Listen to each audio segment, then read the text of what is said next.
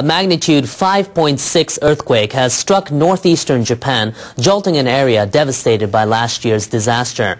That's the strongest quake to hit the region since last April. The quake occurred at 4.05 a.m. on Thursday local time. In Sendai and Minami Sanriku in Miyagi Prefecture, it measured 5 plus on the Japanese scale of 7. The epicenter was located in the Pacific Ocean at a depth of 60 kilometers. There are no reports of major damage or injuries so far. Tokyo Electric Power Company is reporting no new problems at the disabled Fukushima Daiichi nuclear power plant.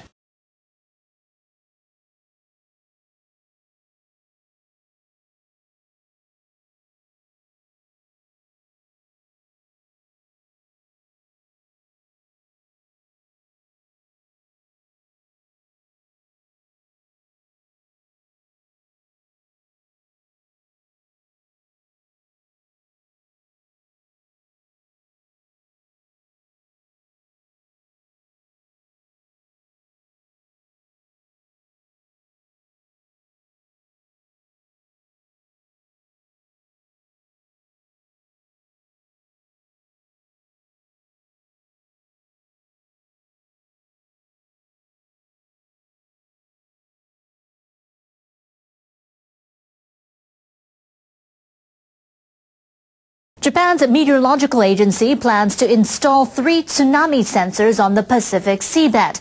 Agency chiefs hope to speed up their ability to detect tsunami after earthquakes. Engineers will install the sensors around October.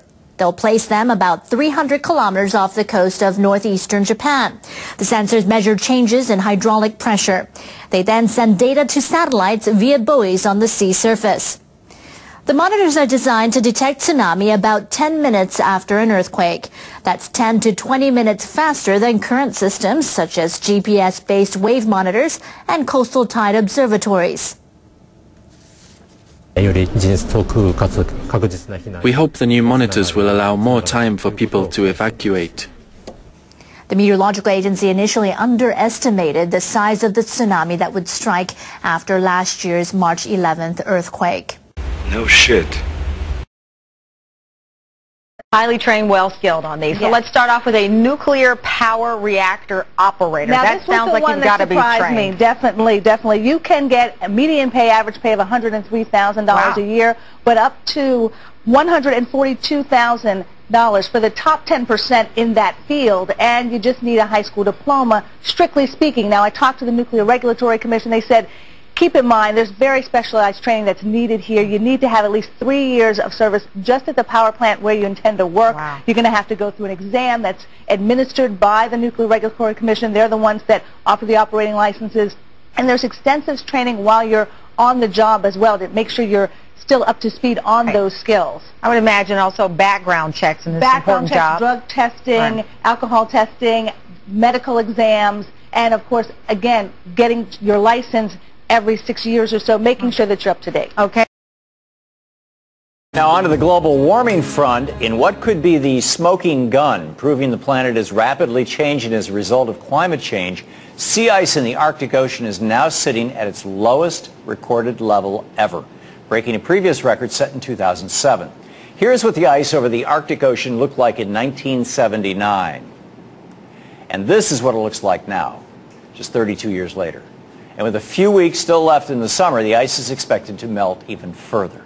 According to researchers at the University of Colorado at Boulder, the melting ice is, quote, a strong signal of long-term global warming, end quote. And according to climate scientist Michael Mann, the director of the Earth, Science, uh, Earth Systems Science Center at Penn State, the sea ice decline is perhaps the most profound of those cautionary tales because the models have basically predicted that we shouldn't see what we're seeing now for several decades. So not only is climate change happening, it's happening faster than we all thought. Something tells me you won't hear about this tonight at the RNC. After all, the Koch brothers are hanging around. Japanese Prime Minister Yoshihiko Noda has taken another hit. Upper house opposition parties have passed a censure motion against him. This means they've practically paralyzed the government. Noda could be forced to quit or call a general election. Noda's opponents say he's incapable of handling domestic and foreign affairs. Prime Minister Yoshihiko Noda keeps ignoring the people's voices. He bears a heavy responsibility. We strongly call for soul searching and condemn those who submitted this motion, which is highly partisan and irrational. The motion is not legally binding, but it means the opposition will block all bills in the upper house. I insist Prime Minister Noda dissolves the lower house as soon as possible to ensure sound political management. However, Noda is expected to ignore calls to dissolve the lower house to make way for an election. But his time is limited. The government's money could start running out this autumn if it doesn't get help from the opposition. NHK World senior political commentator Masayo Nakajima came by the studio earlier to give us some insight on what this motion means for Japan. He has followed the prime minister for years. Masayo, what mm -hmm. prompted opposition parties to submit this motion? Well, they're blaming the government for escalating tensions in territorial disputes with South Korea and China.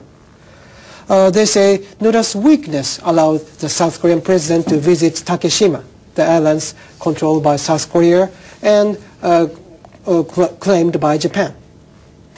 And opposition members say that the same weakness allowed Hong Kong activists uh, to land on one of the Senkaku Islands, which are controlled by Japan. Opposition politicians say Noda should have used diplomacy to prevent the landings. So how has the Noda administration reacted? Well, members of uh, Noda's own Democratic Party say that uh, the motion will weaken the leadership of this country and send a wrong message diplomatically. They also say that there are a lot of domestic issues to solve and the opposition party, parties should be uh, helping. Um, how do you think this will affect uh, the Japanese people? Well, the opposition parties are refusing to join deliberations in the Diet and they control the upper house. So that effectively shuts down the workings of parliament. Ministers want to introduce measures to help low-income earners cope with the consumption tax hike. They want to reform the electoral system so that there are a similar number of voters in each riding or uh, constituency. And they want to pass bills to enact the budget. If they can't, that could cripple public services. So, you know, a lot of Japanese people are criticizing that uh, those parties are just playing political games mm. at the expense of people's lives. How will all of this affect Prime Minister Noda? you know, the censure is not binding. So the Prime Minister does not have to respond, but it, it gives the opposition grounds to boycott Parliament. If the government cannot enact the budget, Noda will be forced to resign or call a general election. Remember, Noda's public approval rating is approaching a record low. So he'll be keen to delay the election for as long as possible. But the motion makes it clear this time that Prime Minister Noda will have to make a decision sometime this fall.